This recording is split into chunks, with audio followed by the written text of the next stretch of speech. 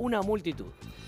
Bueno, y vamos a hablar ahora del tema que les iba a introducir eh, recién, que tiene que ver con una denuncia gravísima, Ignacio, que contamos en Mediodía Noticias y desde allí empezó a trascender y se sumaron denunciantes. Sí, es un caso muy grave. Ustedes recordarán el caso que nosotros dimos del 3 de septiembre, donde había un joven, Pablo Delía, que inclusive conversó con nosotros aquí en el noticiero, en el microcentro de la ciudad de Buenos Aires, que es estas imágenes que estamos viendo, él contactó a un hombre en la página de Greens, que es una página donde, bueno, se hacen encuentros sexuales, donde se pactan sobre todo em, algunos encuentros de parejas gays. Él aparentemente contrató un hombre, pero ¿qué pasó? Al edificio fueron dos hombres, que como ustedes ven en las imágenes, aparecieron con barbijo, con gorra, con capucha y dentro del departamento se colocaron unos guantes negros, uno lo intentó ahorcar, el otro le ofrecía una botella con un líquido que luego se comprobó que tenía vodka y clonazepam y que lógicamente esto se iba a transformar en una droga por sumisión, donde hay una sumisión química, donde la persona queda totalmente debilitada y donde a partir de ahí pierde la fuerza, pierde el control, pierde el recuerdo de la situación, pero este chico lo mordió, le dio un codazo y se escapó del lugar. Y pudo denunciarlo y está con nosotros. Pablo, Buenas tardes, gracias por eh, este contacto nuevamente, porque tu valentía hizo posible que otros se animen también. ¿Ya hay cuántas denuncias? Hay más de 10 denuncias, 8 radicadas en la ciudad de Buenos Aires. Igual, déjame aclarar una cosa que yo no lo contraté, ¿eh? no hubo, no, es una página que se encargue de contratar gente, es un encuentro que puede ser sexual o, no, o puede no ser sexual. Claro, listo, aclarado eso. Este, este encuentro que vos pactaste termina siendo casi un intento de asesinato.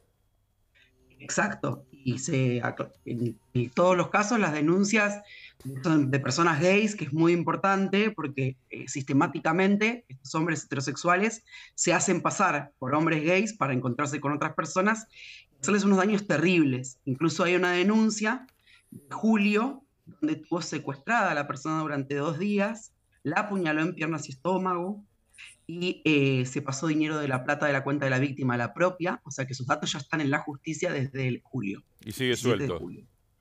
Y sigue suelto y lo pusieron en libertad luego de que lo detuvieron en mi casa el 3 de septiembre. Claro.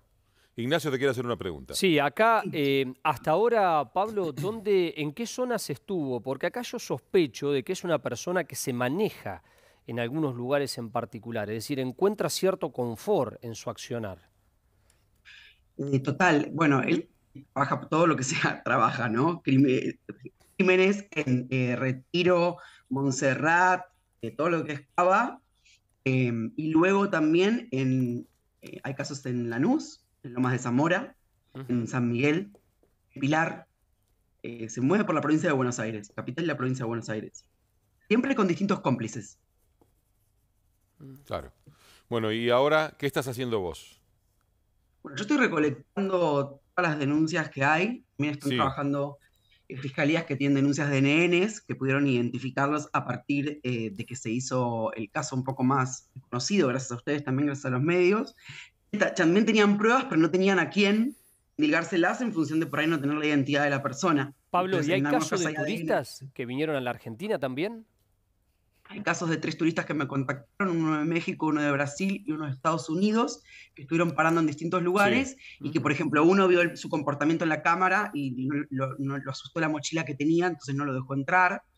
Eh, y otro bajó y tampoco le gustó la, expresión corporal y no lo dejó, no lo dejó entrar. Bueno, Pablo, muchísimas gracias por este contacto.